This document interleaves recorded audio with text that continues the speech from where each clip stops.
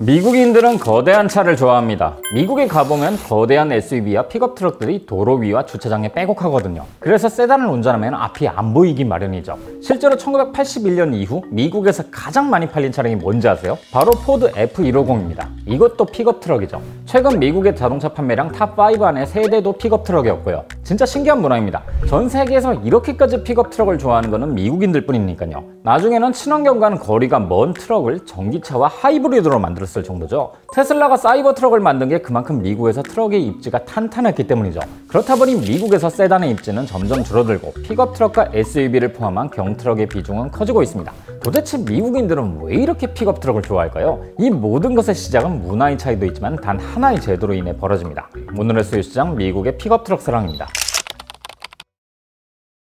보통 픽업 트럭 하면은 짐칸 덮개가 없는 소형 트럭을 말합니다. 포터도 미국에선 픽업 트럭이죠. 이 픽업 트럭의 시초는 세계 최초의 국민차였던 포드 모델 T의 개조로 시작되었습니다. 모델 T의 뒤쪽에 짐칸을 덧붙인 거였죠. 아무래도 농촌에선 운송을 많이 하니까 픽업 트럭이 필수였던 거예요. 그래서 픽업 트럭을 보면 원래 농가에서 쓰이던 차량이었던 특징이 보입니다. 우선 도로 포장이 잘 된 대도시와 달리 시골과 농촌, 소도시들은 도로망이 나빴고 특히 미국에는 험한 산이 많았다 보니 험지 주행 능력이 필수였죠. 이 덕분에 차고가 높아졌고 사륜구동으로 제작되어서 험지 주행이 가능했습니다. 그리고 짐칸을 넉넉하게 만들어서 농사에 필요한 장비나 소모품 혹은 상품들을 채울 수 있게 한 거고요. 이렇게 1950년대만 하더라도 픽업 트럭은 미국 농촌을 상징했습니다. 그러다 보니 도시에서는 전혀 사용할 일이 없었죠. 그래서 당시 도시에서는 세단 계열의 자동차가 대세였고요. 자, 이런 상황에서 70년대 이 모든 것을 바꿔버린 사건이 터집니다. 바로 오일 쇼크였죠. 오펙의 석유 금수 조치로 유가가 급등하자 미국 정부는 에너지 수요를 줄이려고 다양한 정책들을 펼칩니다. 그리고 에너지를 많이 쓰는 분야가 자동차였기 때문에 자동차 업체들을 향한 규제가 시작됐죠. 그리고 그 규제형 정책들 중 하나가 바로 생산되는 차량의 평균 연비 조정이었어요. 정해진 기준치 이상으로 평균 연비를 유지하도록 만든 겁니다. 앞으로도 자동차를 만들 거라면 최대한 기름을 덜 먹게 만들란 거였죠. 그런데 이 기업 평균 연비는 모든 자동차가 동일한 기준치를 적용받은 건 아닙니다. 미국 정부에서는 자동차를 승용차와 경트럭으로 나눴는데 경트럭은 엄청 관대한 연비 기준을 적용했죠. 예를 들어 80년 내 승용차의 기준은 리터당 10.14km였지만 경트럭은 리터당 7.39km에 불과했어요. 이뿐만 아닙니다. 1980년에는 연비가 나쁜 차는 추가적으로 세금을 매겼는데 경트럭은 여기에서 예외였죠. 남들 다 벌 받고 있는데 혼자서만 이쁨을 독차지한 거예요. 이유는 간단합니다.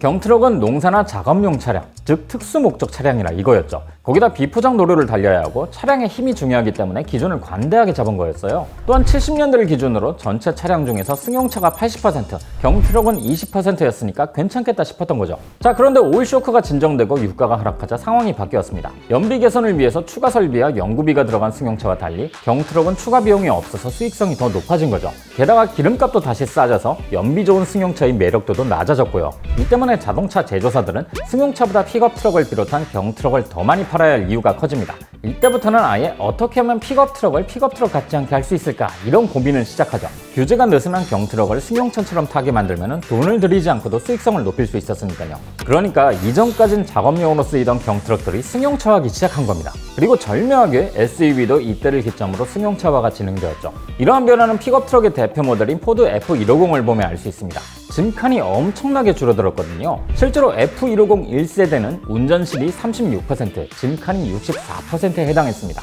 그런데 픽업 트럭을 자꾸 승용차처럼 쓰니까 나중엔 짐칸보다 운전실이 더 중요해져서 2021년에 나온 F150은 운전실이 63%, 짐칸이 37%로 비중이 완전 역전했습니다. 그리고 이렇게 픽업 트럭의 변화에 맞춰서 미국 자동차 회사들은 광고의 성격도 바꿨어요. 험난한 자연 환경에서 거침없이 달리는 픽업 트럭과 거기에 탄 운전자가 레포츠를 즐기는 모습을 많이 노출시킨 거죠. 즉 새로운 라이프 스타일을 누리려면 답답한 승용차가 아니라 크고 강하고 멋진 픽업 트럭을 타라 이런 메시지를 던지는 겁니다.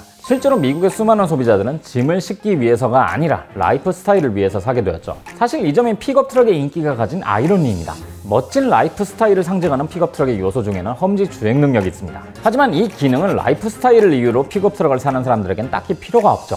픽업 트럭의 이미지를 소비하고픈 소비자들은 대부분 비포장도로나 험한 자연이 아닌 도심 속의 포장도로를 운전하는 게 전부일 테니까요. 이렇게 픽업 트럭의 인기가 증가하면서 픽업 트럭의 크기도 더욱 커지기도 했습니다. 미국 소비자들이 픽업 트럭을 좋아하는 이유 중에 하나가 바로 튼튼함인데요. 어떤 상황에서든 운전자를 보호해줄 기능성 차량으로 받아들인 거죠. 테슬라 사이버 트럭이 방탄으로 제작된 것처럼요. 그런데 외부 충격으로부터 안전하다는 것은 반대로 외부에는 위협적이란 뜻도 됩니다. 실제로 일반 승용차보다 크고 튼튼해서 오히려 승용차 운전자들이 위협을 느껴버리죠. 결국 픽업 트럭이 늘어날수록 사람들은 안전을 위해서 더 큰 픽업 트럭을 찾게 된 겁니다.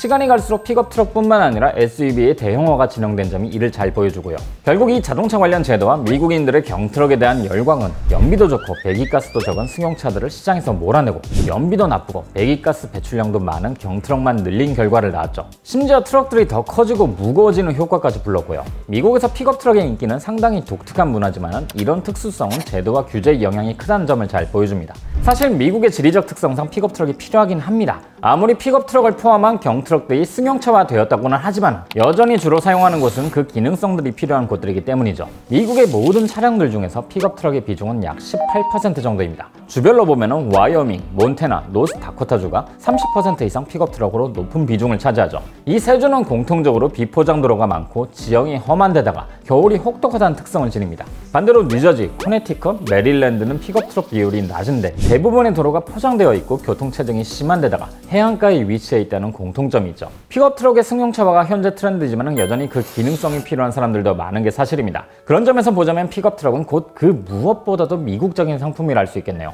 아마 시대가 흐르더라도 픽업 트럭만큼은 미국에서 그 자리를 굳건하게 지키고 있지 않을까 싶습니다.